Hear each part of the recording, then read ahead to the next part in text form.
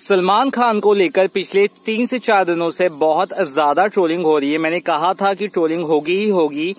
अगर कुछ चीज़ें ऊपर नीचे सामने आई तो याद होगा आपको, एक ट्रेड आर्टिकल ने ये कहा कि सलमान खान की फ़िल्म राधे का कलेक्शन ओटीटी का, सिर्फ़ पंद्रह करोड़ हुआ है।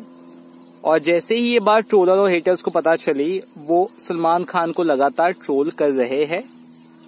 बहुत बुरी तरह से ट्रोल कर रहे हैं। और वेलकम का एक सीन है याद है वेलकम फ़िल्म अक्षय कुमार की? और उसमें अपने है ना नाना पाटेकर साहब है? और एक रिश्ते के लिए कोई नाना पाटेकर के साथ मतलब सामने आता है? और बोर्ड पर नाना का एक वकील है वो किस तरह से कुछ बोलता है तो सब पूरा है ना प्रॉब्लम हो जाता है। मतलब लड़की लड़, लड़की देखने के जो आते हैं वो लोग खिसक जाते हैं। तो उस सीन को किस तरह से ट्रोल करके बनाया गया है पैरोडी जैसा? कि भाई सलमान खान ऐसा हवा, हवे में बहुत दिखाते कि बहुत बड़े एक्टर हैं, उनके फ़ैन बहुत तारीफ़ करते हैं, लेकिन सलमान खान की लाइफ टाइम कलेक्शन राधे का सिर्फ़ पंद्रह करोड़ है। तो इस तरह से कई सारे और लोग हैं जो बहुत ट्रोल कर रहे हैं राधे को। और मेरे को साफ़ कहना उन सभी लोगों को जो ट्रोल कर रहे हैं, सलमान खान की फ़िल्म राधे का असली पोटेंशियल 230 से 250 करोड़ है, अगर ये नॉर्मल सिनारियों में थिएटर में आती तो। ये मैंने बात आपको कही है कई बार। अब मेरी बात आप बोलोगी कि तेरी बात कैसे मान ले? तो कोई बहुत बड़ा तोप है, कोई बहुत बड़ा क्रिटिक है तो बहुत बड़ा ट्रेड एनालिस्ट है।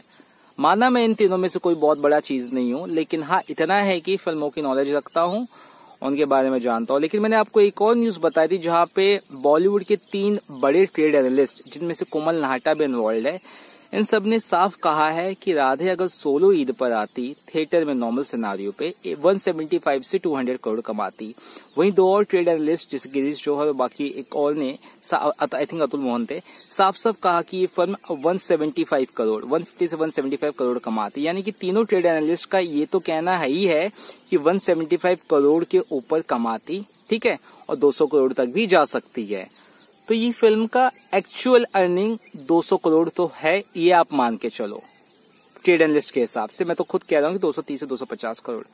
तो जब ये बात सामने है तो वो फ़िल्म का अगर 15 करोड़ बताया जा रहा है तो उस पर विश्वास करने जैसी बात कहाँ से आती है?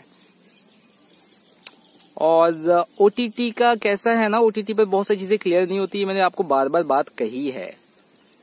तो ये तो भाई वही बात है कि आप जितना इस पर बोलोगे, उतना ट्रोल होगा, उतनी ही बातें आगे बढ़ेंगी। लेकिन आपको क्या खुद लगता है सलमान खान की फ़िल्म, वो भी लाइफ टाइम में, जो बंदे की फ़िल्म, पहले दिन टाइगर ज़िंदा है ने थर्टी फोर करोड़ के आसपास का कुछ कलेक्शन किया था उसकी उसकी फ़िल्म पंद्रह करोड़ का लाइफ टाइम कर सकती है क्या? उसकी फ्लॉप फ़िल्म भी देखो, उठा के या एवरेज फ़िल्म देखो 180 से 200 करोड़ का कलेक्शन करती है। तो वो एक्टर की फ़िल्म जो राधे, जबकि उन कई सारी, जो सलमान खान पिछली कुछ फ़िल्म उनसे काफ़ी अच्छी है। वो फ़िल्म किस हाल में पंद्रह करोड़ का लाइफ टाइम करेगी? तो लॉजिकली भी सोचो दोस्तों, कि बिना मतलब का ट्रोल आप ना करें, क्योंकि सलमान खान पंद्रह करोड़ तो छोटे मोटे एड में कमाता है उससे ज़्यादा। तो यार, ये थोड़ा सा ज़्यादा हो गया। मुझे ऐसा लगता है कि ट्रोलिंग की कुछ लिमिट होनी चाहिए लॉजिकल होनी चाहिए। और इससे ट्रोलर्स भी जो ट्रोल करे तो लॉजिकल ट्रोल करो ना।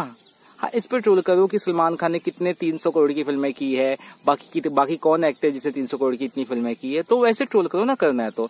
इस तरह का ट्रोल क्यों कर रहे हो? तो एनीवेज इस पर कुछ मैं नहीं कह पाऊँगा, क्योंकि जी वाले साफ़ करेंगे नहीं कलेक्शंस कभी। न व्यूवरशिप साफ़ बताएँगे कभी। तो बड़े दुखी मन से यही कहना चाहता हूँ कि कभी क्लियर होगा ही नहीं। कि राधे का एक्चुअल पोटेंशियल कितना था? राधे ने एक्चुअली कितना कमाया? पॉलिसी ने कितना नुकसान किया इस फ़िल्म को? मैंने अपनी तरफ़ से सब बताया, लेकिन बस वही बात है कि भाई पंद्रह करोड़ तो नहीं है बॉस मेरे।